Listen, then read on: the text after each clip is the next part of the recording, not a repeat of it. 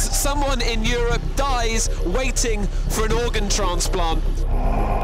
One of the main problems is that transplant organs only last four hours once they've been removed from a donor. So they need to get to the patient and be plumbed in fast. It's a problem faced by thousands of patients every year.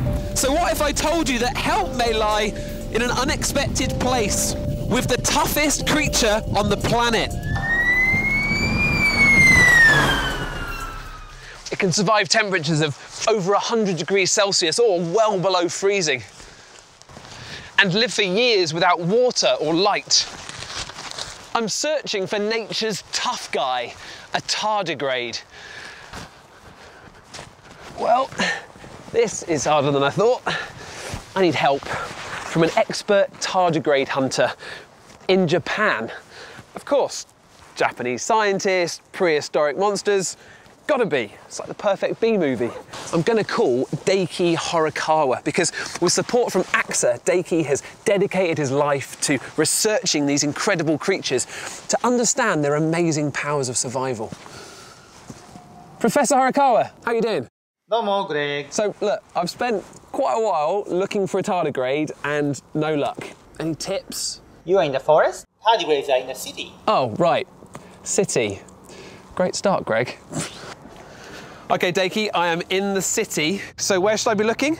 Now, go find some moss. Moss? Yes, you are in the perfect place for tardigrades. The picture I just sent you, that's what you are looking for. Oh, I see. That's what it looks like. But maybe, Greg, you should see them close up and personal. This has got a bit weird. Um, they are vegetarian, right? Yes, don't worry, Greg. I've shrunk you down to their size, about a millimeter long. And what is it about these ugly guys that makes them so potentially useful for saving lives? Well, our research group has found chemicals in the tardigrades. They are called CAHS and SAHS proteins that possibly protect the animals in extreme conditions like desiccation. Right, so it's those proteins that make a tardigrade so tough. Yes, I want to know which chemicals besides CAHS and SAHS proteins are responsible for protecting tardigrade cells, even when they lose up to 98% of body water. Daiki, this, this one's looking a little bit a little bit frisky. Can you get me get me out of here, mate? Come on. Sure thing, Greg. Thanks, Daiki. Tardigrades are incredible creatures.